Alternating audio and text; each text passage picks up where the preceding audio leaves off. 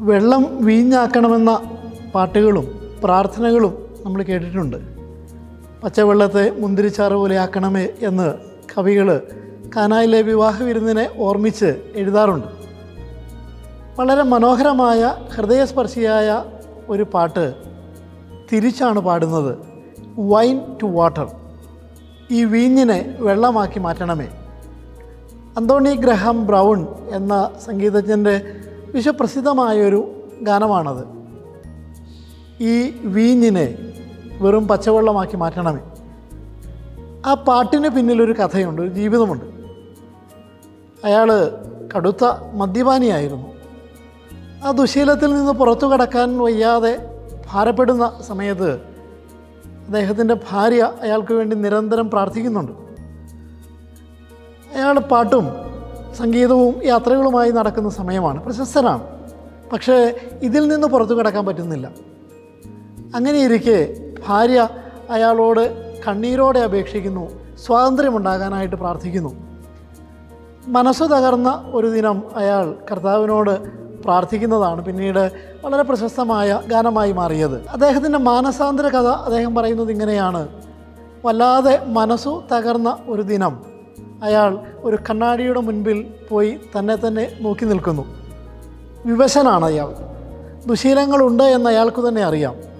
എന്നിട്ട് ആ കണ്ണാടിയിലെ സ്വന്തം രൂപത്തിലേക്ക് നോക്കിയിട്ട് അയാൾ കർത്താവിനോട് പ്രാർത്ഥിക്കുന്നു. എനിക്ക് ഇതിൽ നിന്നൊരു മോചനം തരണം. അയാൾ എഴുതുന്നത് ഇങ്ങനെയാണ്. പിന്നീട് ഒരിക്കലും മദ്യപാന ആസക്തിയിലേക്ക് ഞാൻ വീണുപോയിട്ടില്ല ഈ പാട്ടിലെ വരികളെക്കുറിച്ചാണ് നാം ഇന്ന് ധ്യാനിക്കുന്നത്. വൈൻ ടു വാട്ടർ വീഞ്ഞ് എന്ന് പറയുന്നത് ലഹരിയാണ്. ഇഷ്ടമുള്ള സംഗതികളാണ്. നാം വളരെ സന്തോഷത്തോടെ നമ്മോട് ചേർത്ത് പിടിച്ചിരിക്കുന്ന കാര്യങ്ങളാണ്. അതിൽ നിന്നുള്ള മോചനം ക്രിസ്തുമസിന്റെ ഒരു സന്ദേശമാണ്. കൊട്ടാരത്തിലേക്ക് ജ്ഞാനികൾ എത്തുന്നുണ്ട്. രക്ഷകൻ പിറന്നു എന്ന് പറഞ്ഞ്. എന്തുകൊണ്ടാകും അവരുടെ വാക്കുകൾ അയാൾ ശ്രവിക്കാത്തത്? രക്ഷകനെ തേടി പോവാത്തത്? അതിനു കാരണം അധികാരം ഒരു ലഹരിയായി അയാളെ ബാധിച്ചിട്ടുണ്ടായിരുന്നു. എന്തുകൊണ്ടാകും ഫരിസൈരും നിമഞ്ഞരും ഈ യേശുവിന്റെ പ്രഘോഷണ സമയത്ത് അവനെ ശ്രദ്ധിക്കാത്തത്?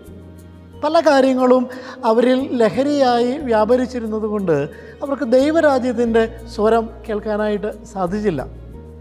നാം ക്രിസ്തുമസിന്റെ പടികൾ കയറുകയാണ്.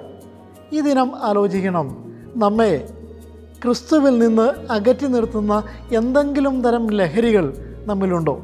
അങ്ങനെയുണ്ടെങ്കിൽ ഈ ദിവസം നാമും പ്രാർത്ഥിക്കണം. വൈൻ ടു വാട്ടർ ഈ വീഞ്ഞിൽ നിന്ന് അതിന്റെ ലഹരിയിൽ നിന്ന് എല്ലാത്തരം ലഹരികളിൽ നിന്ന് ദൈവമാകുന്ന സ്വാതന്ത്ര്യത്തിലേക്ക് നമുക്ക് ഉണരാൻ സാധിക്കട്ടെ.